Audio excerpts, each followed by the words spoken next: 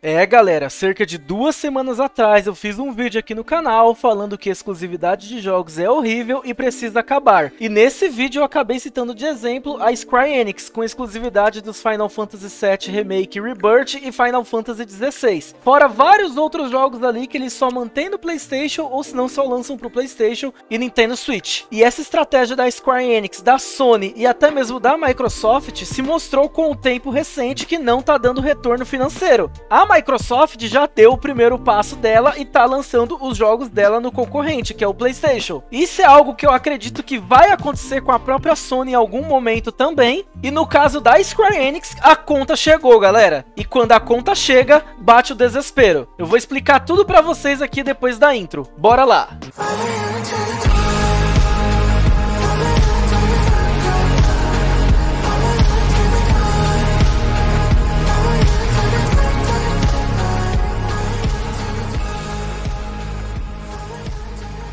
Galera, a Square Enix anunciou que está planejando uma grande reestruturação no estúdio, e com isso, obviamente, vai ter muitas demissões em massa, e vai afetar funcionários dos Estados Unidos e do Reino Unido. E recentemente também eles tinham anunciado que eles cancelaram vários projetos e eles acabaram perdendo muita grana com isso. É mais um daqueles casos que tá rolando recentemente na indústria de games. A grande crise que tá pegando nessa geração. E a gigante japonesa também não escapou disso aí. Só que no caso da Square Enix, pessoal, os problemas problemas que ela tá tendo atualmente com questão de lucro são tudo culpa dela mesma, com vários lançamentos de jogos bem duvidosos flopando, estratégias de marketing péssimas, sendo teimosa com essa questão de exclusividade, como eu falei ali antes da intro, e das últimas notícias que temos sobre a Square Enix, o próprio Final Fantasy XVI, a DLC e o Final Fantasy VII Rebirth, que foi lançado no início do ano, não venderam bem. E sinceramente, isso já era esperado, já que ela colocou esses dois jogos como exclusivos do PlayStation 5 5, que é um console extremamente caro, não é muitos usuários que tem esse console,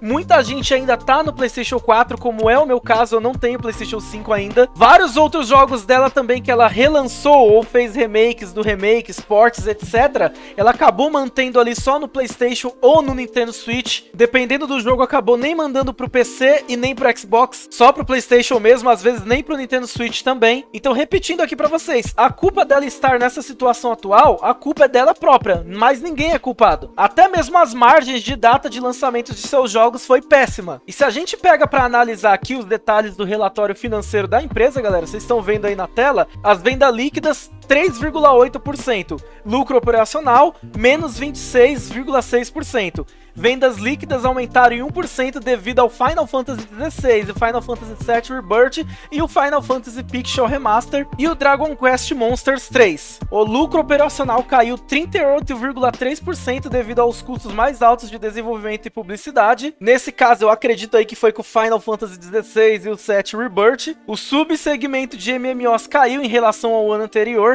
Os jogos para celular e navegadores de PC caiu devido ao desempenho fraco dos títulos existentes as vendas líquidas de publicações está 6,6%, as vendas líquidas de entretenimento 9,2% e as vendas líquidas de merchandise está mais 20,8%. Mas para uma empresa do tamanho da Square, isso é muito baixo. E o último grande lançamento da Square Enix, como tá falando aí no print, é o Final Fantasy VII Rebirth, com o qual as vendas ainda são desconhecidas porque ela mesma não publicou, porque ela própria sabe que o jogo não vendeu como esperado. E eu repito aqui para vocês, exclusividade é horrível horrível, galera. Isso tem que acabar. É algo do passado, não funciona mais. E ela tá pagando o preço por isso aí. Aí agora que ela tá passando por toda essa reestruturação aí de forma geral, ela anunciou que vai focar mais em jogos multiplataforma. Ou seja, muitos jogos dela que estão ali só no Play e às vezes até mesmo no Nintendo Switch vão acabar consequentemente saindo pro Xbox e pro PC também, se não tiver algum ou outro ali. E tem aí um tal documento da Square Enix que ela explica sobre sua nova estratégia e tem quatro pilares como base base, novas iniciativas para estabilidade, produtividade aprimorada, oportunidades diversificadas de lucro e equilíbrio entre o retorno para os investidores e crescimento dos investimentos. Ou seja, o que dá a entender aqui é que eles vão focar em sempre alcançar um número de público maior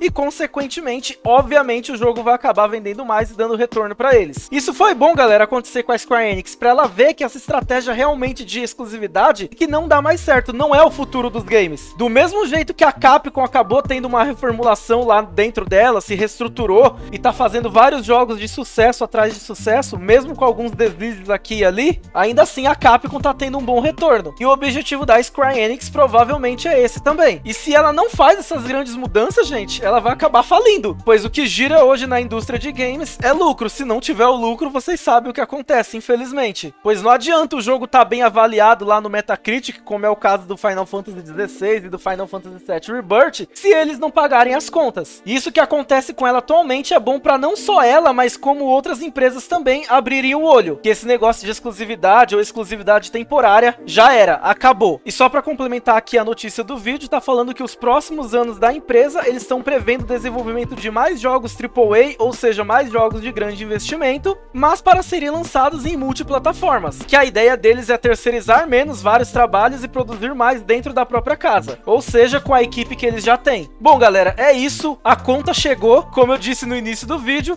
quando a conta chega, bate o desespero. Ela só abriu o olho por causa disso. Isso infelizmente foi necessário acontecer para Square Enix tomar uma atitude. E eu fico muito triste com uma notícia dessa. Se gostaram do vídeo, não se esqueçam do like para ajudar, compartilhem se possível e comentem aí para nós trocar uma ideia sobre essa situação atual da Square Enix e não só dela, mas da indústria como um todo, beleza, galera? Valeu, até a próxima aí.